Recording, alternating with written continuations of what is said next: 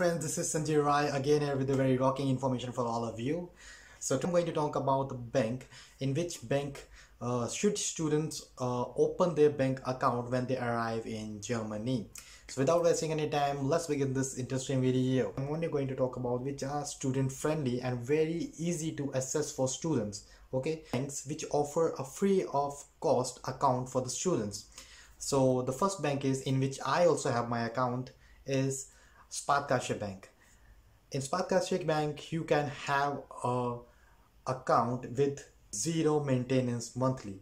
So in every bank, when you open a account, you have to pay a monthly charge for the maintenance of the account. It can be 4 euros, 5 euros or even 10 euros. That depends upon bank to bank.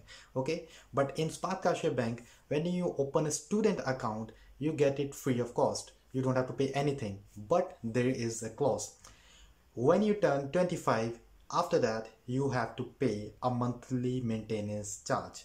So now i'm not paying a monthly maintenance charge. After two years i'm going to pay a monthly uh, maintenance charge uh, which will be directly deducted from my account okay? So that is only a, a disadvantage of this bank. But the advantages of this bank are that you will see the Sparkasse Bank have a lot of branches. Like wherever you go wherever uh, you are in in German you will see a lot of branches of Sparkasse Bank.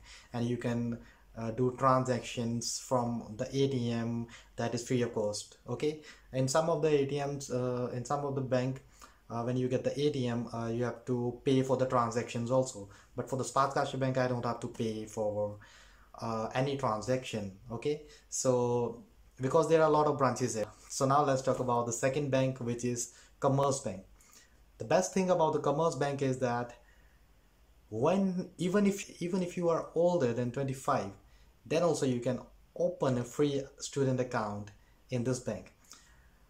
You just have to show your student id here okay? You have to tell that you have a student and all the papers and the documents which they require and you can have a free account till the age of 30 until you turn 30 you can have a free of course bank account in this bank okay? So that is a big uh, advantage of this.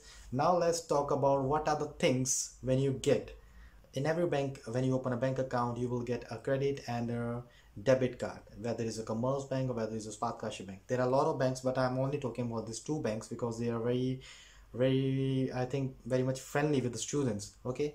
There is a deutsche bank that has been on the top for students but when I came here uh, a lot of students were shifting to Sparkasse Bank. So I also just opened my account in this bank okay?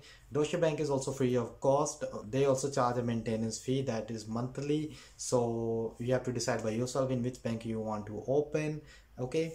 And now I'm going to talk about an online bank uh, which doesn't have physical branches but it uh, is a bank so the name of the bank is n26 okay you have might have seen a lot of ad. The students who are come or planning to come to germany or know something about germany the banks. So there's a bank name uh, n26 you will get a credit card mastercard okay? But there will not be a physical branches present. You just have to mail them email them your problems if you face any problems okay? So you can uh, email them and uh, you have to wait for their reply. And one more thing in n26 there's a big advantage. You don't need to show the MLDM like the shitty registration. In the Commerzbank deutsche bank or sparkasse bank or any other bank which has physical branches you have to show them the city registration for opening a bank account. So that's the biggest advantage which i can say in n26 other than that in Sparkasse and Commerzbank Commerce Bank also has a, a, lot of branches. So you can directly visit to them and uh, just just tell them your problem and they will solve it. So that's the end of the video how this video helpful to you. And you can also write about your suggestion. What are the videos or what should be my next content? Or what are what type of information do you need from me? As like a daily any kind of information which you need from me you can write in the comment box below. So stay tuned for my next video. Keep liking and subscribing to my channel and keep sharing my channel